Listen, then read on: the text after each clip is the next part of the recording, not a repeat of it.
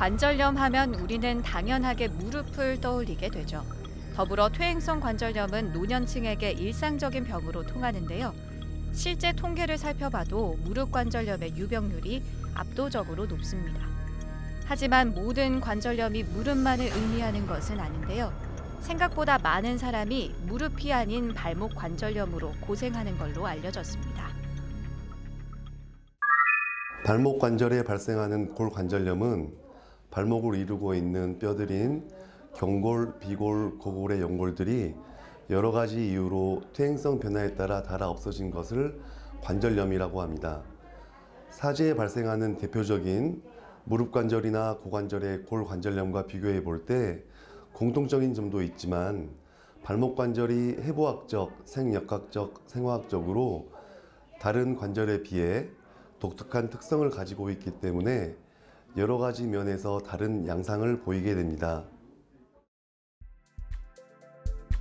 관절염 대다수를 차지하는 무릎 관절염은 주로 노화에 의해 발생합니다. 전체 환자의 80% 이상이 50대를 넘는다는 사실이 그를 뒷받침하는데요. 하지만 발목 관절염 환자의 70%는 뇌상에 의해서 발생하는데 좀 더 정확하게 말하면 발목 인대가 파열됐거나 골절 등이 생겼을 때 이를 방치해 발목 관절염으로 악화하는 것인데요. 상황이 이렇기에 발목 관절염 환자는 무릎 관절염과는 다르게 20, 30대 환자를 흔하게 찾아볼 수 있습니다. 발목에도 관절염이 잘 생기나요? 라고 흔히 환자들이 자주 물어보시는 질문입니다. 그만큼 발목은 무릎, 고관절, 척추, 수부에 비해 일차성, 즉 의상 없이 발생하는 관절염의 빈도가 낮습니다. 이는 발목 관절은 첫 번째로 상합적이라고 해서 딱 맞는 관절이며 안정성이 있고 다른 관절에 비해 움직임이 제한적인 관절이라는 점. 두 번째로 발목 관절은 연령이 증가해도 관절 연골의 강도가 감소하지 않고 세 번째로 다른 관절의 연골에 비해 연골 분해 작용이 적기 때문입니다. 반면 골절이나 반복된 염자 등에 의한 이차성, 즉 외상에 의한 관절염은 흔한데 이는 첫 번째로 연골의 두께가 얇고 두 번째로 무릎이나 고관절에 비해 같은 하중을 받지만 접촉면이 적어 일부가 손상되면 남은 연골에 가해지는 스트레스가 급격히 증가하기 때문입니다. 발목 관절염 환자들의 이야기를 들어보면 과거에 골절을 당했거나 심하게 다친 후 만성적으로 발목을 접질렸던 경우가 많습니다. 문헌상 발목 골절 이후에 14에서 70%까지 관절염이 발생하는 것으로 보고되어서 손상에는 매우 취약한 편입니다. 진료실에서 발목 관절염 환자를 진찰하다 보면 적어도 네다섯 번 발목 접질림을 겪었던 경험을 확인할 수 있다고 말합니다. 건강보험 심사평가원 통계에 따르면 지난 한 해에만 약 130만 명 이상이 발목 염좌로 병원을 찾았는데요. 문제는 우리가 흔히 발목이 삐었다고 표현하는 발목 염좌 증상으로 병원에서 적절한 치료를 받은 경험자는 30%도 되지 않는다는 겁니다. 발목 관절염의 가장 주된 증상은 통증입니다. 환자분들은 통증은 주로 발목의 앞쪽이나 안쪽 또는 발등의 깊은 곳에서도 느껴진다고 합니다. 또한 많은 환자분들이 관절 운동의 강직을 호소하는데 아침에 심하고 활동을 하면 점차 완화되는 양상을 보입니다. 그리고 발목의 모양이 변하기도 하는데요. 주로 내측으로 꺾이고 점점 변형이 진행됩니다. 발이 종아리 측보다 앞쪽으로 이동하는 경우가 흔합니다. 사실 무릎 관절과 다르게 발목에는 관절염이 잘 오지 않습니다. 그 이유는 발목은 무릎과 달리 상당히 안정된 구조로 돼 있기 때문인데요. 우리 체중의 대부분을 발목이 받아내지만 무릎보다 관절염이 오는 경우는 10분의 1 수준에 불과합니다.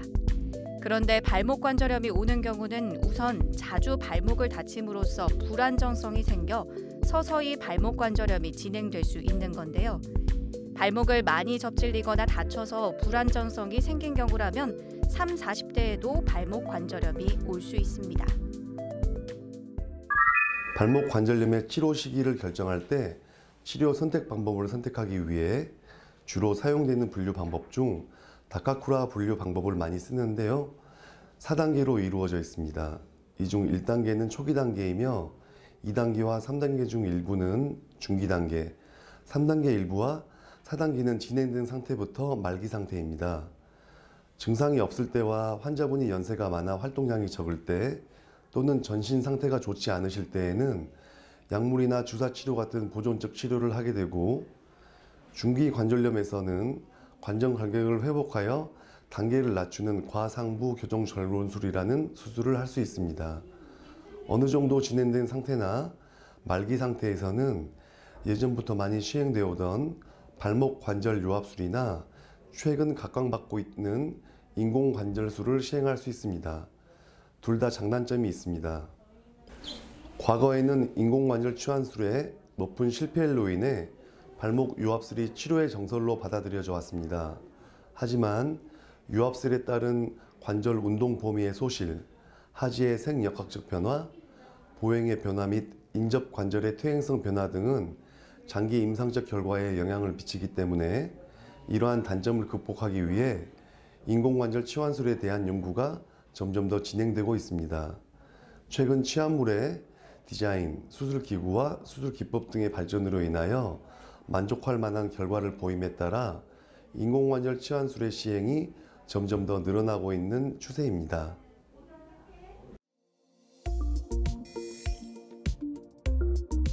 발목 관절염을 진단하기 위해선 체중을 실은 상태에서 촬영한 엑스레이를 기본으로 발목의 전 후방, 측면, 격자 사진을 촬영합니다. 관절염이 진행된 발목 관절이라도 체중 부하를 하지 않은 상태에서는 정상 관절로 보일 수 있는데요. 또한 뒷발목 정렬을 확인해 안쪽 또는 바깥쪽 변형의 유무를 확인하는 것도 중요합니다. 뼈가 자라는 골극이 있는 초기 관절염을 확인하기 위해 컴퓨터 단층 촬영이 필요한 경우도 있고 연골 및 연골 하골, 연부 조직의 이상을 파악하기 위해 자가 공명 영상 등으로 진단 및 치료 계획을 세울 수 있습니다. 예전에는 발목의 인공 관절술이 유압술에 비해 결과가 좋지 않다고 하여 유압술을 선호하는 추세였습니다. 하지만 인공관절의 디자인과 기계의 발달 또 수술 술기의 발달로 인해 최근 연구들을 보면 두 수술 간에 어떤 수술이 더 좋다라고 결론 지를 수 없다 하는 결과들이 많이 보고되고 있습니다. 두 수술 모두 환자의 통증과 활동성, 만족도를 높입니다. 하지만 인공관절을 시행한 경우가 발목 고정을 한 것보다는 정상과 가까운 걸음걸이를 하게 됩니다. 평지를 걷는 곳과는 관계가 없지만 노면이 불안정하거나 계단을 오르내릴 때 인공관절을 한 경우가 기능적인 만족도가 높은 편입니다. 하지만 인공관절의 단점으로 이것도 하나의 관절이기 때문에 다른 인공관절처럼 추가적으로 수술이 필요한 경우가 있을 수 있다는 점입니다. 보통 발목에 관절염이 발생했을 경우 이전에는 관절 유합술을 시행해서 발목을 굳히는 수술을 진행했는데요. 최근에는 무릎과 마찬가지로 발목에도 인공관절을 넣어서 관절의 움직임을 보장하고 걸을 때 발목이 움직이게 함으로써 생활하는 데 불편감을 최소화할 수 있게 됐습니다. 발목 인공관절 수술 후 4에서 6주 정도의 기간을 거치면 일상생활에 제한이 없이 거동이 가능한데요. 수술 후 일정 기간 동안 많이 움직이거나 무거운 물건을 드는 등의 무리하지 않는 것이 중요합니다. 또한 수술 후 수술 부위에 상처가 나지 않도록 주의해야 하고 열감이 느껴질 경우에는 다리를 올리고 냉찜질을 하는 것이 도움이 됩니다.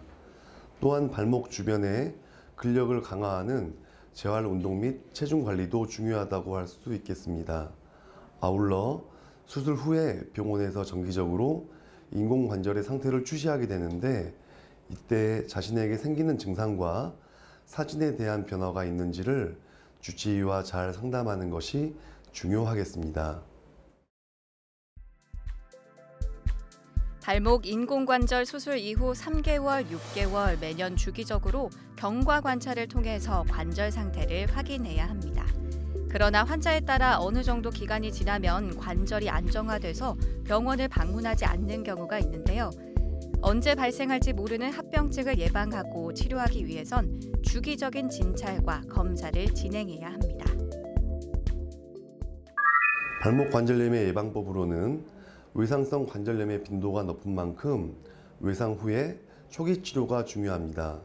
즉, 발목 골절이 발생했을 경우 1차 수술을 잘해서 발목 격자의 해부학적인 정복을 이루는 것이 중요하며 반복적인 염좌의 경우에도 방치하지 말고 필요한 경우에 초기에 보존적 치료와 수술적 치료를 통해 관절염으로의 진행을 막는 것이 중요합니다.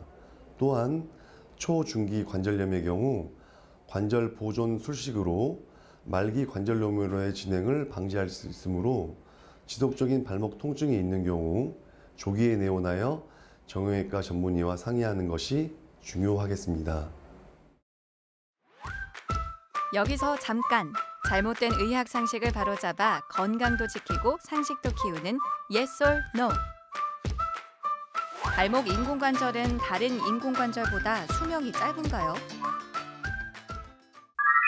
현재까지는 맞는 얘기입니다. 이전에는 발목의 인공관절이 다른 인공관절보다 수명이 짧았던 것이 사실이었습니다. 하지만 발목 관절의 역학에 대한 이해가 늘어나고 기계와 수술 술기의 발달로 인해서 수명은 점점 더 늘어나고 있습니다.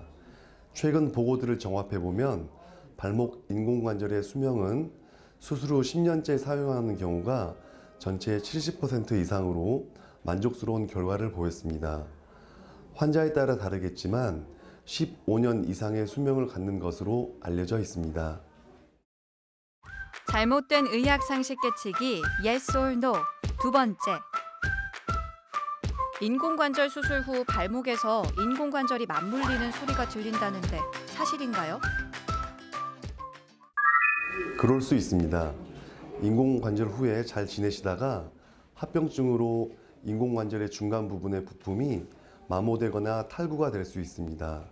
아주 흔하게 발생되는 것은 아닙니다. 중간 부분의 부품에 문제가 발생하게 되면 새로운 부품으로 갈아주면 대부분의 문제는 잘 해결이 됩니다. 발목 관절염은 20, 30대부터 관리가 필요한 질환입니다. 만약 발목을 자주 접질리거나 접질린 이후 통증이 있거나 어떤 골절과 같은 외상을 입었다면 더욱더 발목 건강에 관심을 기울여야 하는데요. 만약 이상 증상이 있다면 방치보단 병원에 바로 내원해서 통증을 완화하고 관절염으로 진행될 수 있는 가능성을 예방해야겠습니다. 환자분들이 대개는 조기에 병원을 찾지 않고 또한 병원에 오셔서 상담을 하고 수술을 권유받더라도 관절염이 많이 진행될 때까지 참고 기다리시다가 병원을 오시는 경향이 있습니다. 그러면 수술적인 치료를 하시더라도 회복 시간이 더 오래 걸리고 결과도 그 전보다 더 좋을 수가 없기 때문에 발목의 변형과 통증을 느꼈을 때는 조기에 병원을 방문하신 후에 지속적인 상담을 통해 병을 관리하는 것이 중요하겠습니다.